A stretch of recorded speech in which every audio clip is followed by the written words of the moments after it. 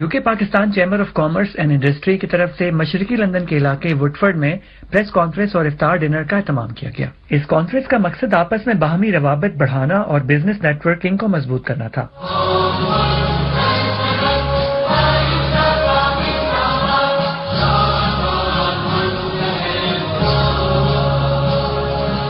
اس تقریب میں you K P سی سی آئی کے ممبران اور عہدیداران شریک ہوئے۔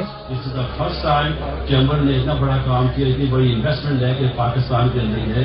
اس سے پہلے نہ کسی نے چیمبر کے پلیٹ فارم سے یہ کام کیا، نہ مجھے لگتا کرے گا، لیکن ہم کوشش کریں گے آگے چیمبر کو لے کے جائیں۔ گے اے ون ٹی وی آج نیوز کے نمائندہ عبد المجید سے بات کرتے ہوئے شرکا کا کہنا تھا کہ برطانیہ میں مقیم پاکستانی کاروباری شخصیات کو آپس میں بامی تعاون اور ایک دوسرے کے تجربات سے فائدہ اٹھانا چاہیے۔ میں یو کے چیمبر کا پریزیڈنٹ ہوں اور میں یہ فنکشن اس لیے ہم نے کیا نیٹ ورکنگ کیا ہے کہ میں ڈیلیگیشن لے کے گیا تھا پاکستان اوورسی پاکستانی انویسٹمنٹ لے کے گیا تھا پاکستان کے اندر۔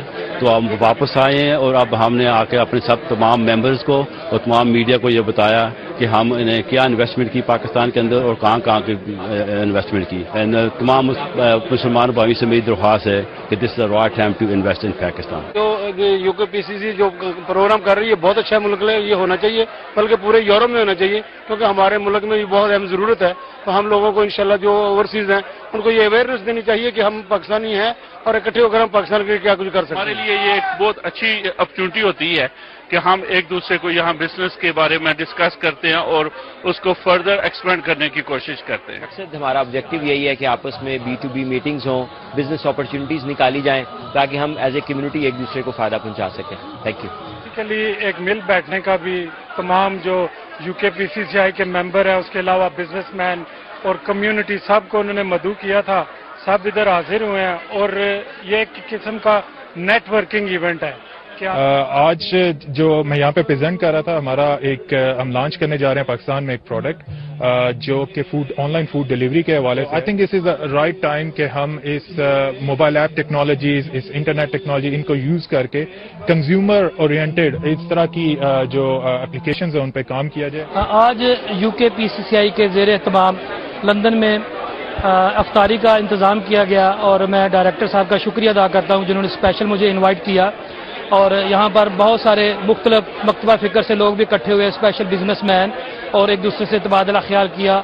اور میں سمجھتا ہوں کہ جو پاکستان گورنمنٹ ہے اس کو بھی چاہیے کہ جو یو کے پی سی سی آئی ہیں ان کے ساتھ تعاون کرے اور یہاں سے بہت ساری سرمایہ کری ہے وہ پاکستان میں لے کر جائی جا سکتی ہے جس سے پاکستان کی ترقی جو ہے بے ان قریب انشاءاللہ بہت ہی قریب آج کے ایونٹ میں آ کے مجھے بڑی خوشی ہوئی اور اسپیشلی میں نے دیکھا کہ بزنس مین کمیونٹی ہماری بہت زیادہ آئی ہوئی ہے اور اس قسم کے ایونٹ ہوتے رہنے چاہیے تاکہ لوگوں کو قریب آنے کا موقع ملے اور فیوچر میں پاکستان میں جا کے گڈ انویسٹمنٹ کی جا سکے۔ مقصد صرف ہمارا یہی تھا کہ جتنی بھی یہاں پہ ہماری اسپیشلی ایشین کمیونٹی ہے، وہ یہاں پہ اپنی بزنس نیٹ ورکنگ کرے اور اپنے بزنسز کو بڑھائے۔ چیمبر کا کام یہی ہوتا ہے کہ برجنگ پرووائڈ کرے اور وہی ہم نے آج کیا ہے۔ اور الحمد للہ بہت اچھا ٹائم رہا ہے زبردست قسم کا یہ ایونٹ کروایا گیا ہے یو کے پی سی سی آئی کی جانب سے۔ یو کے پی سی سی آئی کے جو پروجیکٹس کی بھی اگر ہم بات کرتے ہیں تو ان کا مقصد یہ ہوتا ہے کہ ڈیولپمنٹ جو ہے یہ پاکستان میں بھی بھرپور طریقے سے کی جائے۔ اور یہ فیصل خواجہ جو ہیں جب سے ان کی بھی ایڈیشن اس میں ہوئی ہے، ہم نے دیکھا کہ بہت ساری دوسری بھی پازیٹو چینجز چینجز جو وہ سامنے آئی ہیں۔ امجد خان صاحب جو ڈوئنگ ویری ویل کمیونٹی کو یکجا